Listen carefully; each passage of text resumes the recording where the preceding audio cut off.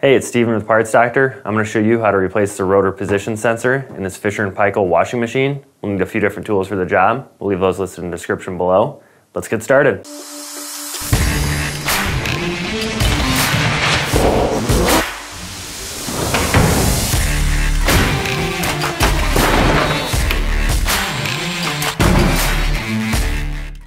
RPS sensor or rotor position sensor monitors the speed that the motor is spinning at. When the sensor fails, you may receive a code related to the RPS sensor or the washer may not spin or agitate properly. For this repair, unplug or disconnect power and the water supply to the washer. Before we get started, the very first thing we need to do is disconnect the water supply lines and ensure that the washer is fully drained. Remove the lid by firmly grasping both sides and lifting up. Now remove the two screw covers. Ours is missing one, followed by the two screws.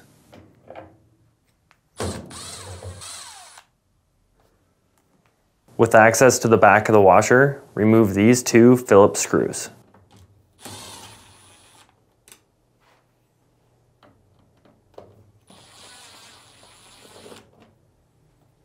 Next, tilt up the control panel and disconnect the display electrical connector by depressing the locking tab. Then, remove this electrical cover by pulling on the top and sliding out. Next, locate the motor RPS electrical connector, depress the locking tab, and remove it. Now, tip the top cover up so you can access the area where the wire needs to route.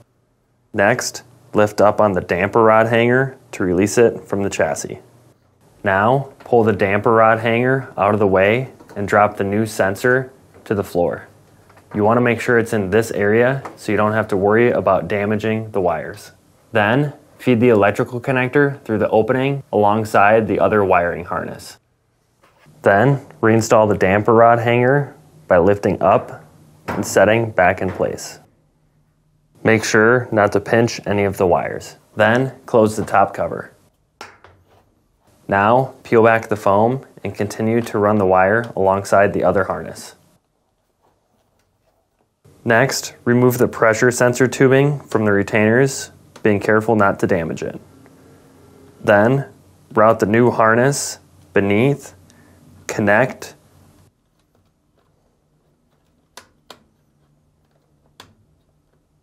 pull out the slack, and place in the wire retainer.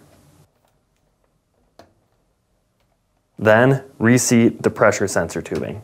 Feed the excess wire through the opening and put the foam back in place. With the new sensor connected, we can now cut the old sensor wiring, making sure not to accidentally cut any additional wires.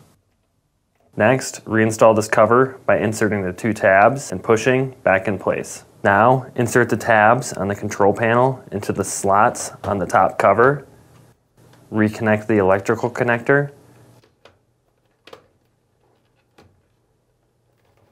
rotate down, and set back in place. Then reinstall the two Phillips screws.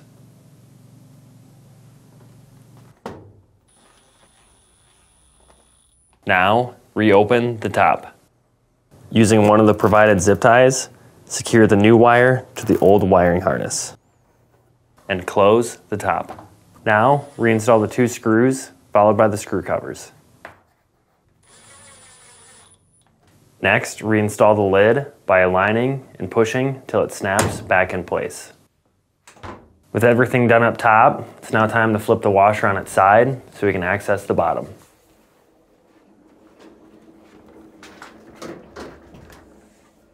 Using a 5 8 inch socket, remove the bolt securing the rotor lift off to remove. Now, using a 3 8 socket, remove these four bolts.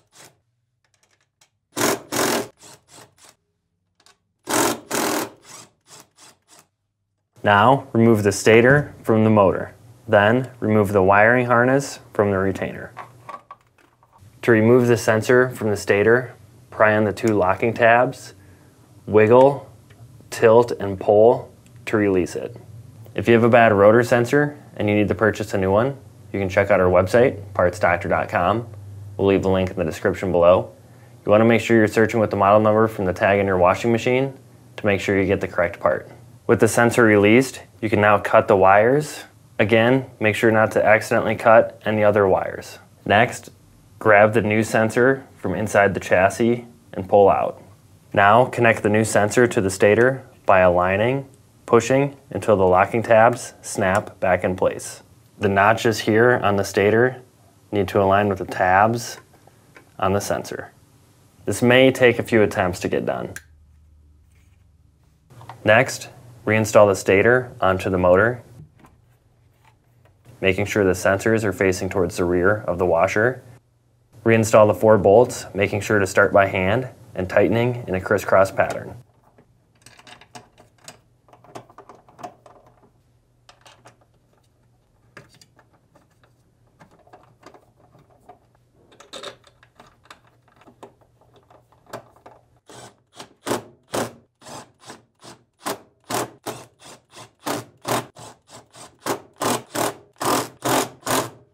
Then place the wires back into the retainer.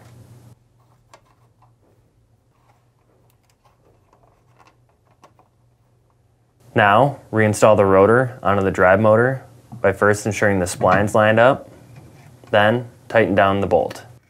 You may find it difficult to reinstall the rotor onto the drive motor, so it may take you a few minutes. Be careful not to over tighten and strip the bolt.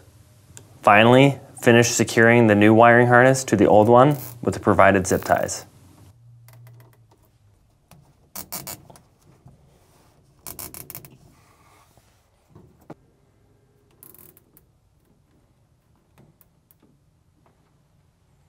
With everything put back together, plug the washer in, test it out to make sure everything's working properly. So that's it for this video. If you have any tips or tricks of your own, let us know in the comments below. And if you like fixing things, please consider subscribing.